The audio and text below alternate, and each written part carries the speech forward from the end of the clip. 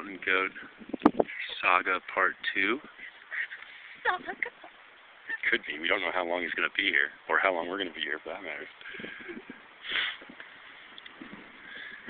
I, I looked in his eyes and I saw pure evil. the fluff, glowing red. the, the fluffy white mountain goat. His eyes were glowing. He's rabid. I tell you. Uh, the, video's just not picking that up, but I, I saw, I seen it, I seen it. Look at him. Sure, you want to eat that grass. Thinking pure meat. Just easing his way closer. Not falling for it, thought he could have it all on film. USA. Like Blair Witch Project. Mountain goats. This camera was found in a lost lake. Tufts of white fur scattered about.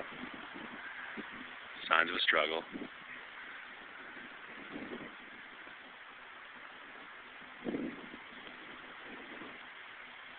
Uh, he seems quite content now. Maybe he remembered that he likes grass and not whatever the hell we're carrying. I mean, what would you do if you're camping here? Like silly me. Uh, I'm a herbivore. Um, I don't know. He is either the loneliest animal in the world and just seeks any sort of camaraderie. Two legs, four legs. Yeah, I'm not really picky right now. I just need friends. Poor little guy. Hey, he was just trying to come over. I mean, he came over slowly to it. Never Yeah. charged us. Yeah, well, you know, he, maybe he sees. I think he sees more of us than we sure as hell see of him. You and I are so timid.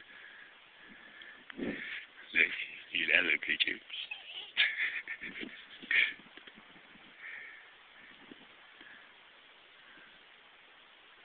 Unbelievable. I mean, I guess if you were